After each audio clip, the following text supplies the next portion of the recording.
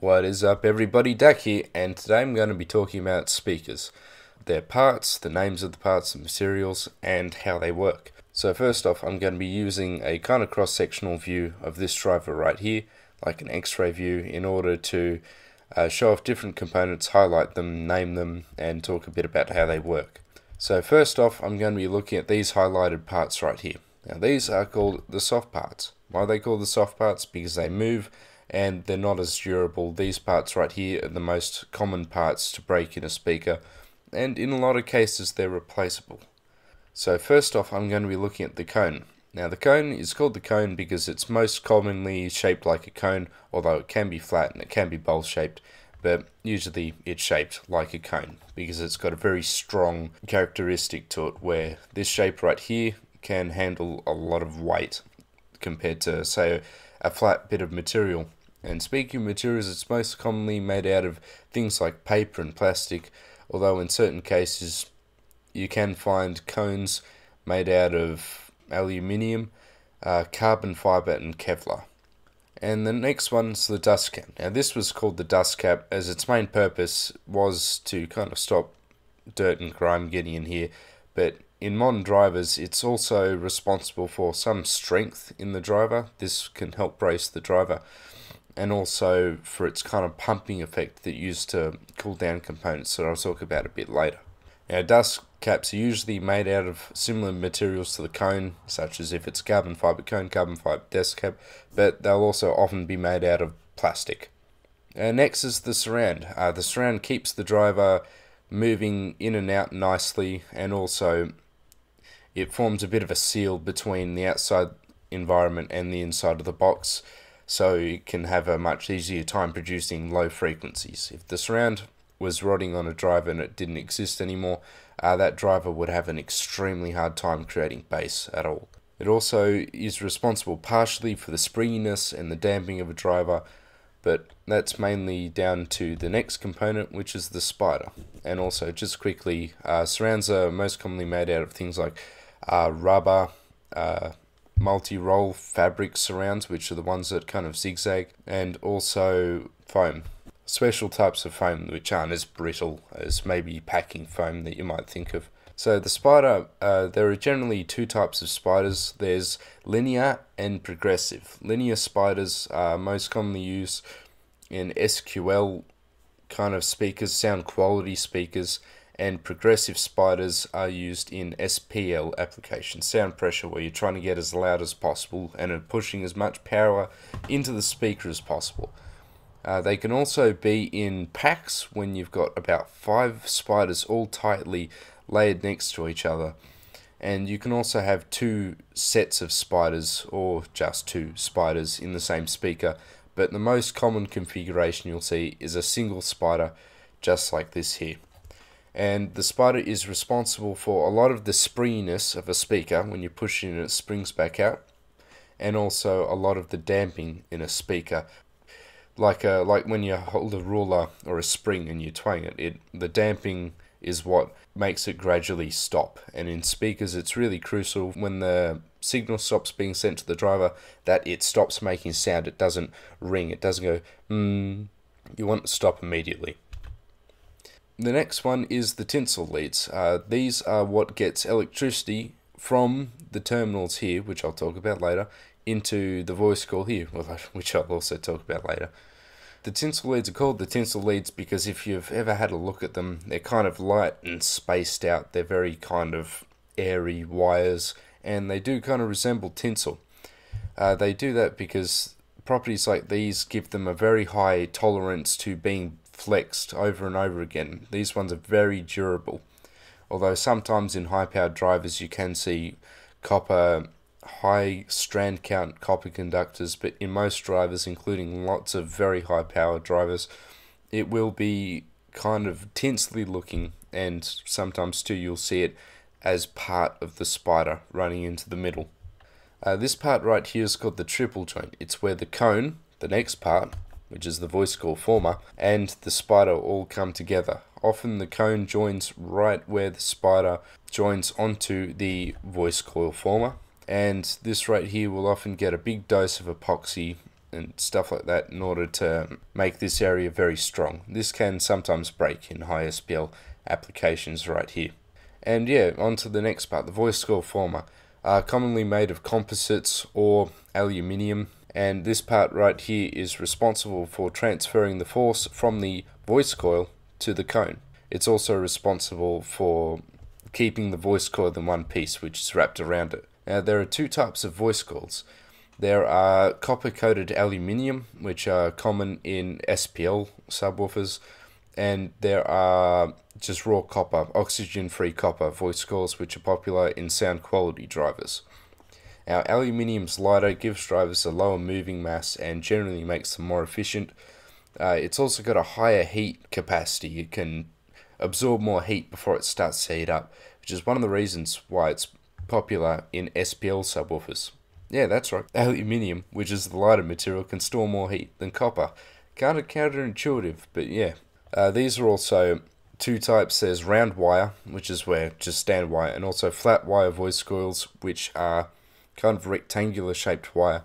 And if you've got a flat wire voice coil, you can usually wrap it a lot tighter and you can fit a lot more windings into the same amount of space.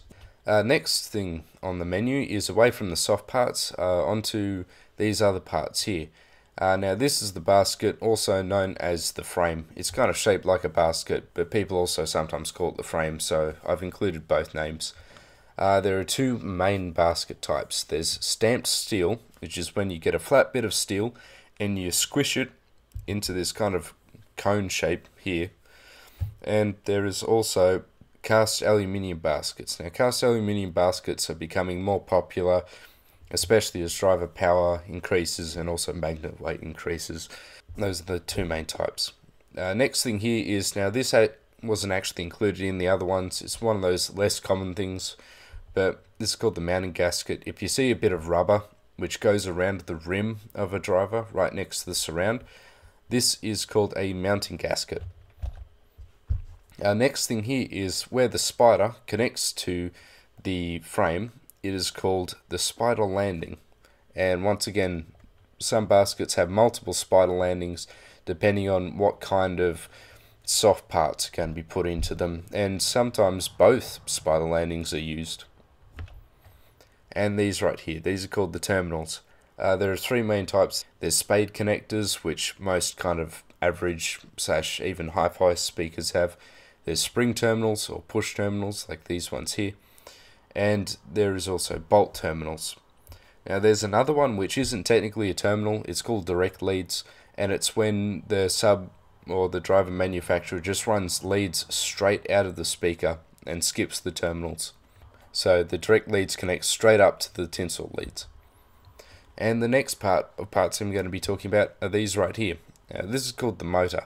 Uh, the motor is responsible for taking power that is sent into the speaker through the terminals, through the tinsel leads and into the voice coil and turning it into sound. So what are parts of the motor?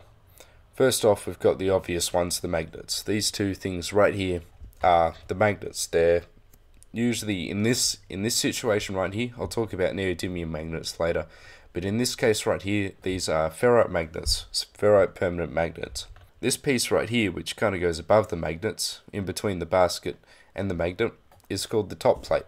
This thing right here is called the back plate. Sometimes it's a single piece that goes all the way across. And the back plate connects to this part right here, which goes up the middle of the voice coil, called the pole piece. Now this assembly in total is sometimes called the T-yoke as it's kind of, if I flip it upside down, it's kind of shaped like a T, but often it can be two different parts, which is the back plate and the pole piece.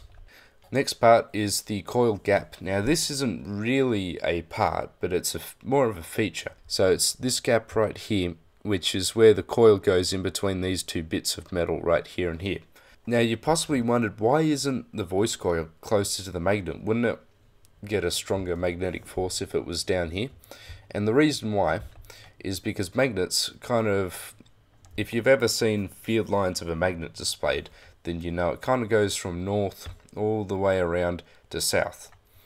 Now if you've got a bit of steel, what happens is it gets channeled through the steel and it kind of comes around and although this is a bigger field it's not stronger it is actually a bit weaker but you can channel the magnetic field through materials.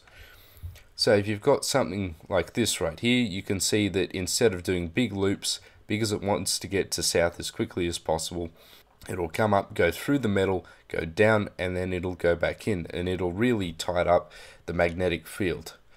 And in a case like this, if there's only one way that it can loop around, then all of the magnet strength will be put through this gap right here. And this is where the voice coil goes.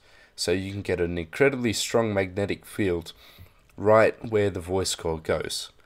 Now, another thing I should mention is voice coils work by magnetic field lines going through it. So if the voice coil were right next to the magnet, you can see that no field lines go through it. So it'd have virtually no strength at all, but in this case right here, it'd have a ton of strength, giving it really good efficiency. And the next part is in between the pole piece, which is the pole vent. Now, as I mentioned before, the dust cap kind of pumps air through this gap and it aids with cooling the voice coil. Modern drivers, high power voice coils need more cooling. Voice coils can only get so hot. So a 5000 watt voice coil, chances are it's less than 50 degrees hotter than, say, a 50 watt voice coil. It's pretty crazy. It's all down to cooling, and one of the big features of cooling is this right here, which is the pole vent. Now, the pole vent also stops pressure being built up in certain subs, and in some cases, I've seen dust caps blown off the front of speakers due to the pressure being created by this area right here being closed off and air being squished under here. And right here, this feature here where you can kind of see that there's this bump is called the backplate bump. Uh, this is to get just a bit more excursion capabilities out of the voice coil so it can move a bit further before hitting the backplate. Another feature that you'll see to improve power handling in modern drivers is uh, coil gap venting.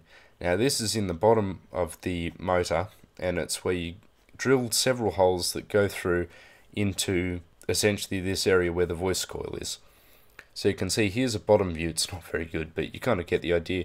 There's the pole vent right there, this is all the back plate, and you can see all these holes which are drilled in, and sometimes too, if you're careful, you can actually make out the voice coil in this gap here. Pretty well all subs which have a power handling of 5000 watts these days have something similar to this. Now, another type of motor you'll see is the neodymium motor. So this right here is because neodymium magnets are so strong, they don't really need help channeling their flux just like the other ferrite permanent magnets did. So this is north right here. Instead of it being top and bottom with the other ones, uh, this is north right here and it's side to side. All the flux comes across here, travels down through the material and back into the back of the magnet. So this right here is an insanely strong motor and this is most commonly used in SPL applications. Uh, this type of driver is where it's used the neodymium in order to make a really small motor. In fact, it's so small they've actually put it on the inside of the voice coil rather than the outside. Uh, now, this is used more like the other ferrite motors with the north at the top and the south at the bottom. And you can see that it channels the flux up through here down here and back around. So this is kind of like the top plate here and then this is still like the back plate and things like that. And you can see this motor right here is way smaller than this motor right here and is likely about the same strength. So these are very good for making drivers really compact and lightweight. Now another thing to note about these type of neodymium magnets is usually these are a bunch of rectangular magnets which are segmented around and the gaps in between the neodymium magnets can help cool down or help aid cool the voice coil which is why these type of motors most commonly have the highest power rating. Now another feature which I haven't mentioned yet but is becoming more and more common in speakers is this right here which is called the shorting ring. Now this is just a ring of aluminium or copper in the motor and what it's supposed to do is when the voice coil produces a changing magnetic field sometimes it can mess with this magnet right here and cause a bit of distortion. So what these things right here is they receive current induced into them by the voice coil and it opposes the voice coil's magnetic field and what it does is it kind of calms down the system and it's good for SQL drivers and making drivers sound a bit cleaner. Another alternative to the backplate bump is putting another magnet in. Now this also does make the motor a bit stronger and the driver a bit more efficient. So instead of having a single magnet with a bump in high excursion drivers, usually they'll have double stacked magnets or even triple or quadruple. I think quadruple is the most I've seen in drivers which have legitimately 10 centimeters or 4 inches of excursion. Uh, the next thing is this isn't so common in drivers. Uh, this is called an underhung motor. All these other designs have been overhung motors where the voice coil is longer than the gap. But in underhung motors, the voice coil is actually shorter than the gap. So this one here, its maximum excursion is from where the top of the voice coil gets to the top of the gap or the bottom gets to the bottom of the gap. Now, excursion here is when the bottom of the coil gets to the top of the gap or the top of the coil gets to the bottom of the gap. So you can see that this one right here has just a small bit more excursion than this system right here. Now these aren't so popular because when you're channeling magnetic flux, uh, a lot of it doesn't go through the voice coil and that doesn't make it very efficient. But in these situations here, all the magnetic flux goes through the voice coil. These might become more popular with neodymium magnets, but I wouldn't expect it either because the voice coil always has to be smaller than the magnetic field gap, and the bigger the voice coil, the more power it can handle. Now, some more things you'd see on the cone are right here, the whizzer cone. Uh, these are put on some full range speakers around kind of the dust cap area, and what they do is they try to boost high frequencies and boost the high frequency efficiency of these drivers. Now, these are common in like 6.5 inch full range drivers or 5 inch full range drivers, 4 inch, even something like a 5x7 that I've got in my car have these whizzer cones. Now, they're not actually that good. You're better off using something such as a coaxial tweeter, but I'll go through that in a second. Another thing that you'll see in some drivers is the phase plug. Now, this is just kind of a bullet shaped thing which goes onto the pole piece of the motor. And I'm not sure exactly their purpose. Some people say that they help with phase alignment and things like that, which they very possibly could in sound quality speakers, but I'm not sold yet that they're always better than just using a dust cap. Some companies also say that they help with cooling the voice coil, so that's another possibility. And yeah, the coaxial tweeter. These are way better than whizzer cones, always, even if they're crappy tweeters. whizzer cones just can't go higher than 12 kilohertz. I think it's about the highest I've seen one of those go. And the coaxial tweeter is usually in a plastic kind of thing and it mounts onto the pole piece right here and is often screwed in from the back and it's usually got some sticker over the back here just so you can't see this kind of well with the screw in it. Uh, you'll also see that this has a capacitor. Now the capacitor acts like the most basic crossover. Uh, it mainly protects the tweeter from low frequencies then forming an actual crossover frequency. The driver itself doesn't have any sort of crossover. The only crossover it has is its natural inductance, which I'll go through in the next video where I talk about speaker parameters. Now the final thing that I'm going to be talking about is ferrofluid. Uh, these aren't popular in subwoofers like this at all. You'll never see them in a sub, even a mid range, you'll only really see them in tweeters. And that's for two main reasons. One, because if the driver moves a lot, this material is just going to get everywhere. It's going to be gross. And two, tweeters get very hot. Imagine a 100 watt tweeter and a 100 watt mid range. The 100 watt tweeter has this tiny 1 inch voice coil, about 5 mils tall, and the 100 watt mid range might have a 1.5 inch or a 2 inch voice coil. It's got a much bigger voice coil and it's able to naturally radiate heat a lot more by pumping air as the speaker moves. So ferrofluid is often used in tweeters as to cool them. So it's put in this magnetic gap right here and it transfers heat from the voice coil into the magnet to help cool it down. So yeah, those are all the materials and parts names of speakers. If you've got any questions, leave a comment below. Uh, after this, I'll be doing kind of the more intermediate or advanced kind of properties of speakers. So yeah, thanks for watching, and if you're interested to learn more about speakers or you didn't understand something in this video, feel free to leave a comment, I'll answer it. And yeah, thanks for watching, subscribe if you're interested, and I'll see you later.